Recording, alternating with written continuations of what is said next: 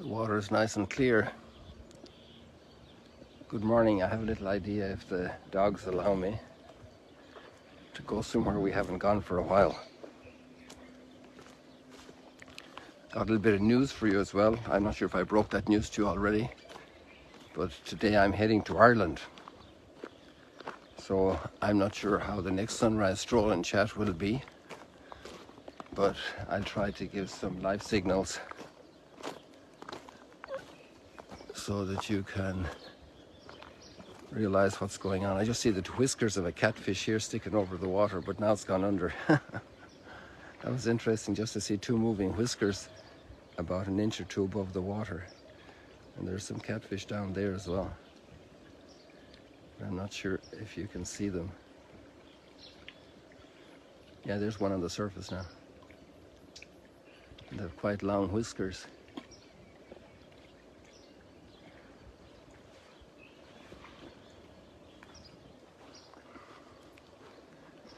All is quiet here on the western front. The dogs must be asleep. Don't wake sleeping, don't awaken sleeping dogs. Oh. Uh, I was thinking of doing something. Maybe you realize what it is already. We haven't done for a while. So my grade school in Ireland, where I went to grade school, is celebrating 150th anniversary. So it was suggested to me and requested of me to, if possible, to come for the family visit in conjunction with this celebration. So that's why I'm heading home, God willing, with a stop in a layover in Amsterdam.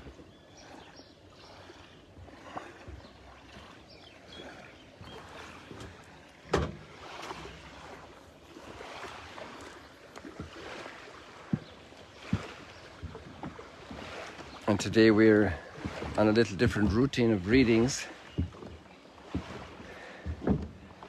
because of this is what I'm doing extra that we didn't do before for a while because this was dismantled for a long time. Actually, since October this after October the 7th, it was dismantled and it was only put out here a few weeks ago.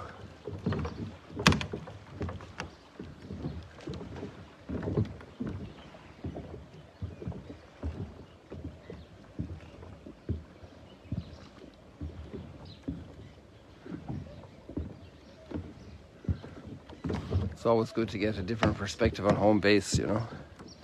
And that's what the readings do as well. The scriptures take us into a different perspective on our home base because they're the reflections, let's say just take it from that point of view, they're reflections from people who lived, in this case, 2,000 years ago.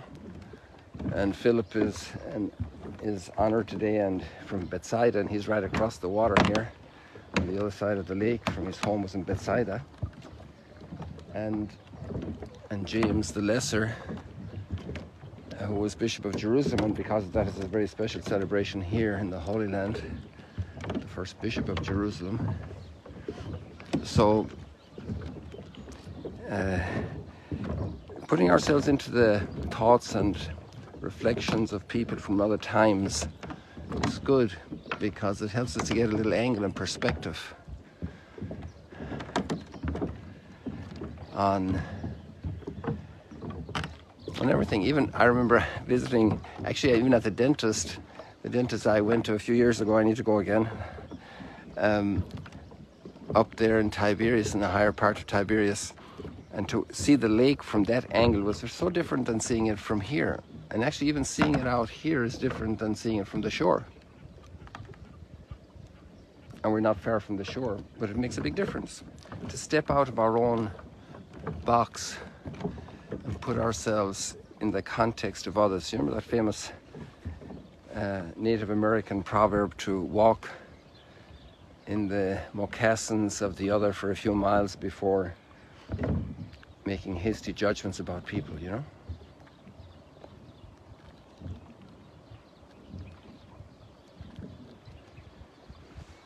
Good wisdom of meeting the other. It's the encounter with the other. That's such a blessing to encounter the other friend at the supermarket, at the store, en route at a gas station. The great joy of meeting the other. We're bonded with every other since Adam and Eve. Won't that be wonderful in eternity to meet the very first human beings created with soul, truly human beings? To meet Abraham. Oh, the dog is out now, so that's good. I got to hear ahead of time. It's just one of the little ones. So, to to meet Moses Isaiah, Jeremiah. Who knows how God, God's grace might have worked on the Pharaoh, on Pontius Pilate, on Herod the Great. Who knows? You know, it's above our pay grade to call damning judgments on all these people. We might be in for some very big surprises. Like, for example, all the sky is so dark right now, but if you look over there, there's a ray of light coming through. A little break in the cloud. And sometimes there's a little break in the cloud of the human being's mind. There's a beautiful psalm today the heavens proclaim the glory of God. There were lots of birds this morning. In the last 10 or 15 minutes, chirping wildly over my head. There's a lot of life underneath the water here. you can see the there's a fish or something going there, creating those circles. The heavens proclaim the glory of God. So, like right down here in the water, we see effect of the sunlight, and that's a proclamation from the sun itself that it's there. You know. The heavens proclaim the glory of God and the firmament reveals his majestic works. And just the whole science of clouds is amazing and, and their purpose because they're carrying, they're the irrigation system of the planet. They're carrying the water through the evaporation from the oceans across the skies and distributing it and dropping it on the fields and the mountains and the valleys of the whole planet. It's really amazing.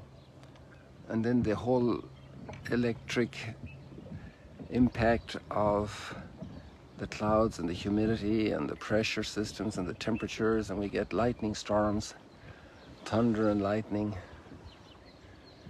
and rainbows. And not to mention nighttime just go way above the clouds, and the closest neighbor is our moon.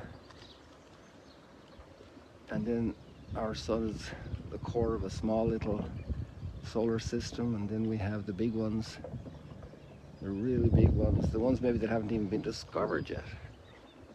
The heavens proclaim the glories of God. Behind every great gift, there's a giver, you know. I'm thrilled by science, and it answers lots of questions and discovers lots of new questions that need to be answered. But I'm also thrilled about the gift of faith of knowing that there is a creator and that the heavens proclaim the glory of God. That I can discover a lot about the giver looking at the gift.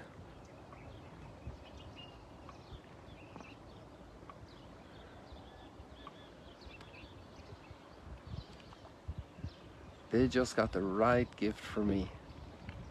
And they parceled it so beautifully. You can tell so much about the giver from the gift. No pressure.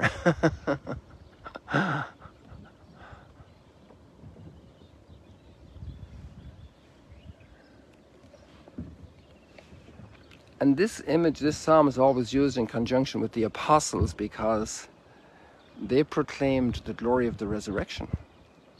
And that's our first reading today, which is a new creation. So just as the heavens proclaim the original creation, so the apostles, human beings, human voices, a fisherman from here, a fellow from Nazareth, James the Lesser probably, from Cana, Nathaniel, Bartholomew, tax collector, no, no, everybody is called to be. Uh, it's amazing the variety of backgrounds called to proclaim the new creation, new hope in the midst of oppressive darkness, of Roman legions pounding their drums of war. And in the midst of all that world of challenges and difficulties and new babies and illnesses and burials, marriages, there's a new voice that there's defeat of death. What a message to send out across the empires of the world. And that sin can be forgiven and there's mercy abounding.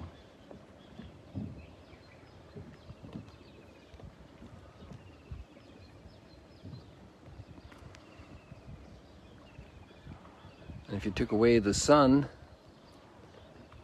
a lot of our solar system would totally collapse. And if you took away the apostles, the foundation of the message would be gone.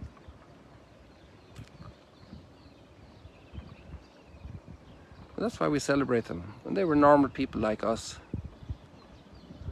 chosen to represent a great history of 12 tribes to show that continuity.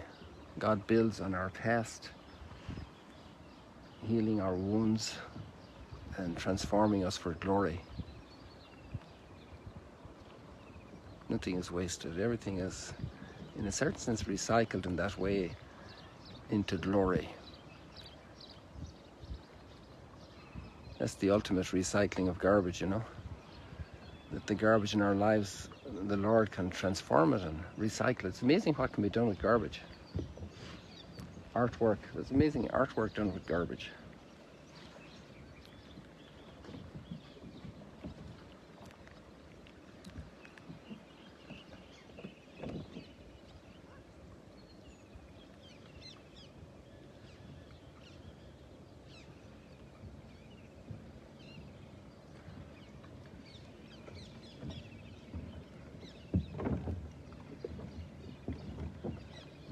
Shows the way to the Father. You know, I found three different levels of, of um, proclamation. So if you look at the works of creation, we have the proclamation of the Creator, the one who gave us the gifts of creation. And if you listen to the apostles, you have the proclamation of the resurrection and redemption. And then Philip asks, asks a question. Sometimes people think, you know, we laugh at other people's questions, but most every question has has a thread that if you pull a little bit there, you get to the core of a lot of things. And he says, Show us the way to the Father. Let us see the Father. Let us see the Father. As that was Thomas's question. And then uh, Philip, show us the Father. Just like Moses, show us the Father. And wouldn't we like to see the sun behind the rays coming out there? Show us the Father. And that's an incredible statement after the works revealing the Creator, after the these fishermen and tradespeople from around here revealing redemption. That Jesus' face is the face of the Father. The love that's expressed, the mercy that was communicated. God knows much better. He's fooling you. Genesis 3, volcano of sulfuric poison that hit the consciences of the first human beings.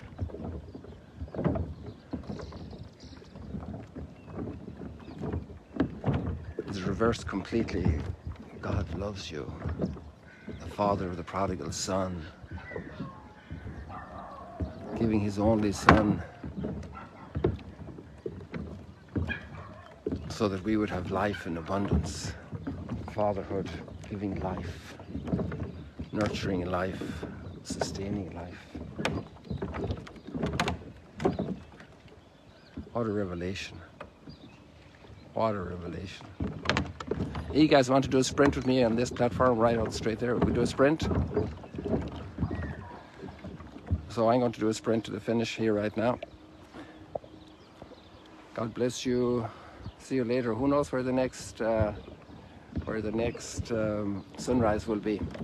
God bless you. Pray for us, pray for Ireland.